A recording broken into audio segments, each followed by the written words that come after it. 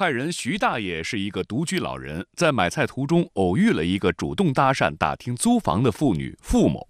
聊天中呢，付某得知徐大爷一个人住，平时没人照顾，便趁机自荐自己曾经是保姆，可以做老伴儿来照顾他。就这样，两人一起回了家。到家后呢，付某一边殷勤地表现出照顾老人的意愿，一边向徐大爷哭诉需要四万元钱补交社保。徐大爷信以为真，便答应一同前往银行取钱。可是拿到四万元钱后，付某就消失了。报案以后，公安机关就调取这个监控视频，然后发现其实这个付某他就是一个惯犯，以前也有多次这种就是专门嗯欺骗老年人的这种前科。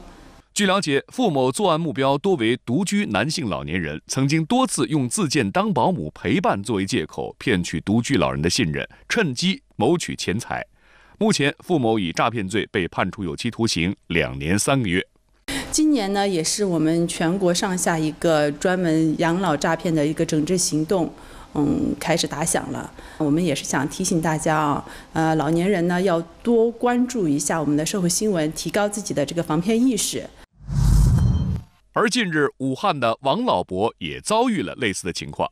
武汉工人村派出所接到王老伯报警，称自己放在家里的四千元现金被偷了。发现门窗呢也没有就是被盗的痕迹，然后家里面也没有什么就是特殊的、特别大的那种翻动。然后他再给我们反映，就说的话，呃，有一个陌生的女的在路边就是找他，就说需不需要保姆？因为确实是独居老人，想的话找个保姆方便一些，然后就把那个女的带到家里去了。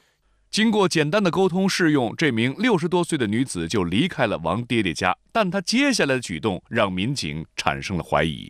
你这个爹爹住二十八楼，但他离开的时候走步梯下去的。然后因为一般的就是消防梯的话，它是没有监控的，所以我们就觉得这个行为很反常。因为二十八楼确实有点高，然后而且呢，走的时候啊，他是那种连走带跑的。民警还发现，该女子与四月底盗窃另一位老人五千两百元的嫌疑人是同一个。上一位受害者家的监控拍下了该女子在其卧室盗取钱财的一幕。视频追踪啊，发现这个女的呢，经常活动在咱们那个五中那一带。通过就是大概有个六个多小时的蹲守，最后啊，在这个小区里边把这个婆婆给抓住了。经过审讯，嫌疑人桂某交代，其经常在地铁站附近以找保姆工作为由，专门寻找独自出行的老伯下手。目前，犯罪嫌疑人桂某已被警方采取强制措施。老人如需家政服务，一定要去正规的公司办理，做好人员甄别。对于这种街头主动搭讪的情况，要保持警惕，不给犯罪分子可乘之机。愿你前程似锦，归来仍是少年。